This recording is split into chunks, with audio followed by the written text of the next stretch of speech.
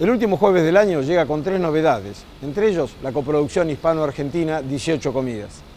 Cuenta seis historias a lo largo de un único día de ficción, con guion, pero con diálogos abiertos a la improvisación, que viaja a través de 18 comidas, desayunos, almuerzos y cenas para hacernos partícipes de algunos de esos momentos que pueden cambiar la vida. Un relato del gallego Jorge Coira, producido por Luis Tosar, una de su media docena de figuras centrales que llega algo tarde a su estreno aquí en la Argentina. Y un amor que era para siempre. Si nos vamos a beber juntos. Se queda en stand-by. Estás engañando. A un hermano no se le engaña. Esto es lo que hay. Y a unos padres tampoco. Esto es lo que hay, esto es lo que hay. Déjate creerme. Vale, y lo estoy diciendo para que lo escuches. Yo ahora vivo solo, pero no me siento solo. El segundo estreno de la semana es En el corazón del mar, de Ron Howard. Es la historia que inspiró a Herman Melville su célebre relato Moby Dick, cuando en el invierno de 1820, Owen Chase y otros marineros de la tripulación del Essex sobrevivieron en alta mar después de que el barco chocara con una enorme ballena blanca.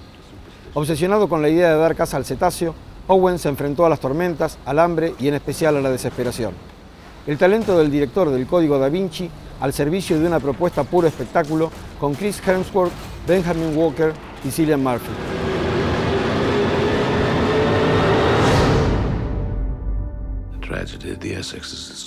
Finalmente, y adelantando la temporada 2016, llega Steve Jobs, del británico Danny Boyle.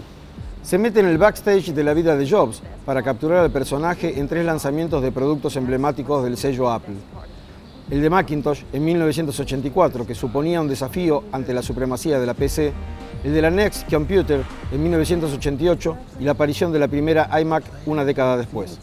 Una excelente propuesta para este fin de año y el augurio de una gran temporada de estrenos, con un memorable manejo visual del director de Trainspotting y Quién quiere ser millonario, con un trabajo de Michael Fassbender para sacarse el sombrero junto a Kate Winslet. Para ver. Two most significant events of the 20th century. The Allies win the war, and this. Ladies and gentlemen, Una semana con solo tres estrenos y para recomendar Steve Jobs de Danny Boyle. Hasta el jueves próximo, feliz año nuevo, buen cine.